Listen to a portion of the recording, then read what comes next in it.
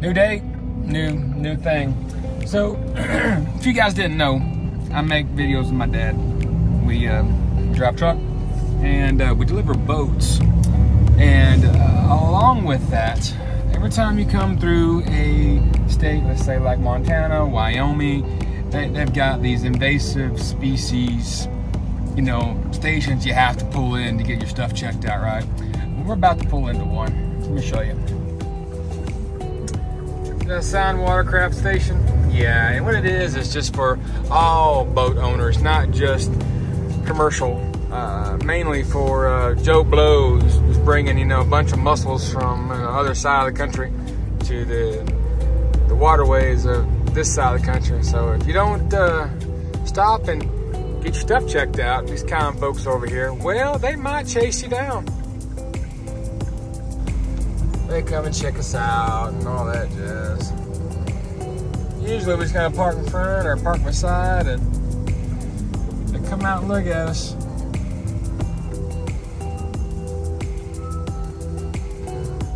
They come. I see somebody in there.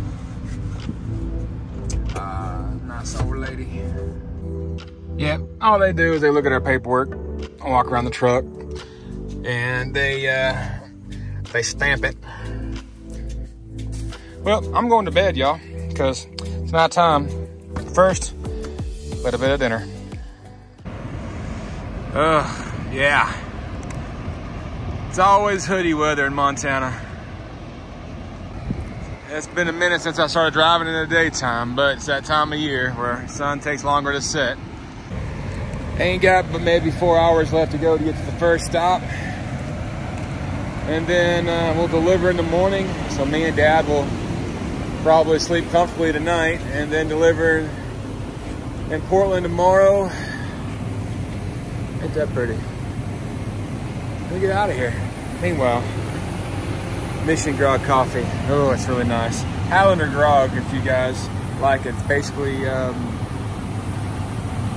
God, I don't know. It's really good. You just have to try it. It's over at Town Pumps in Montana.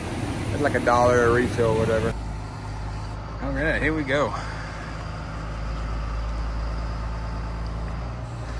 Quick and easy. Quick and easy.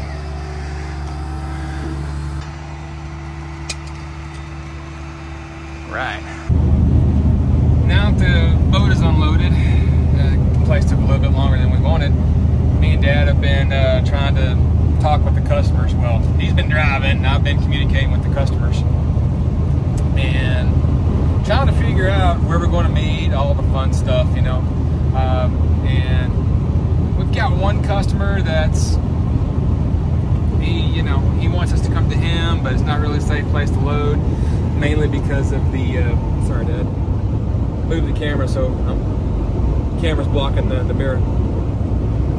Not really a safe place to load because it's in a four-lane highway and it's in a turn lane. Now, if we were a car carrier where we could actually load and stay on the trailer the entire time, different story.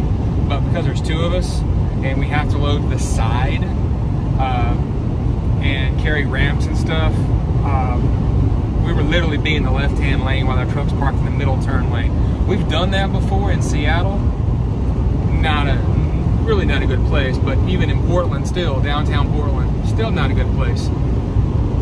So, anyways, that's, that's kind of what we think it is. We got to get this guy to come to us. If he doesn't want to come to us, then we're just not going to carry the car. Just kind of the way it works. Um, it's not that far. It's about an eight or nine mile drive from him. And uh, the other customer, uh, she seems to be working with us real well, so no no drama or issues there. Um, I think we might have to possibly take her back to her apartment or something along those lines. But yeah, we still got to deliver today. Um, and our customer, the boat customer, is in Ocean City, and they'll agree to stay open for us. So, getting that. How you doing today, Dad? You okay? I'm doing well. Who's doing well? Just ready to get all this business done. Go back the other direction, go home. Heard it first. He wants to go home. so, anyways, yeah. Okay, me and Dad are here, but uh, we're waiting on the customer or at least the dealership's customer, to move their vehicle out of the crane unloading area. And uh, the customer, or at least their customer, is in the water with a boat. That's a fun one. You just pass by on the river over here. This, I guess it's the Columbia River. I'm not quite sure. But yeah, they're they're testing testing the boat out. So good thing. Gotta wait. Hurry up and wait. The life of a trucker. Hurry up and wait. So the customer's finally moving his car. Here's what I've got to do. Got to back into that hole. And I've got to deal with it in all this traffic. So it's going to be a fun one.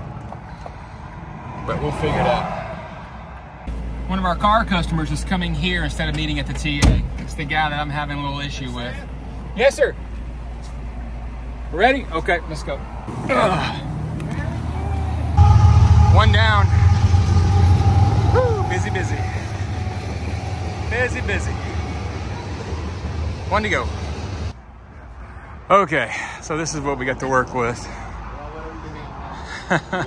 this is a first for us because it's so long we usually come right to the about five or 10 feet from the edge of the building, but this time we're well past the building. We are, I don't know, good little distance from the from the boat. They normally like to store the the ones they're offloading back here while we're unloading them. But not today, boys, not today.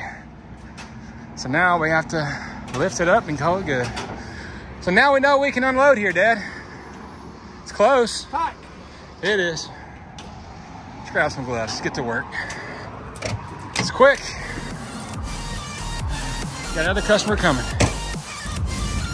Yeah, this place is got boats for days. Look at that. Showroom quite amazing. Alrighty. Another customer just called. He's seven minutes out. Really. Let's go ahead and pull out. Yeah, boy. Here we go. Gotta get past all these rails right here. We'll call it good. I'm driving an IDI in Portland right now. Yeah, 7.3, 97, 250. They only got about 200 on the clicker. Gotta catch up with Dad though. He's pretty quick. We're uh, got unloaded at the at the boat place, and uh, they wouldn't allow us to load there, so we didn't load. She moves well. Yeah, boy. She's got a little bit of a shake in the front end. Uh, and buddy, she's got a bad bearing, like a winding on the belt or something like that. Probably a pulley or the belt, one or the other. Not real sure. But she moves. Well, day's not done, but we're almost there. Second car is literally over there. It's like right there, little gray thing. Here we go. Gotta get this thing loaded. And the steering wheel is a greasy mess. Whew. Okay, here we go. Well, I'm in the second one, and we're close. Generally, we want to get the ramps away from the car. And we don't want the ramps to be riding the whole trip. So, gotta back it up. Wait for Dad to give me the all clear, because I can't see him. Where you at? Are you, uh, ready to back it up a little? Yeah. Okay.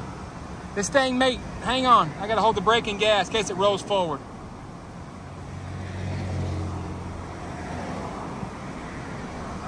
Yeah, okay. Let's knock it down.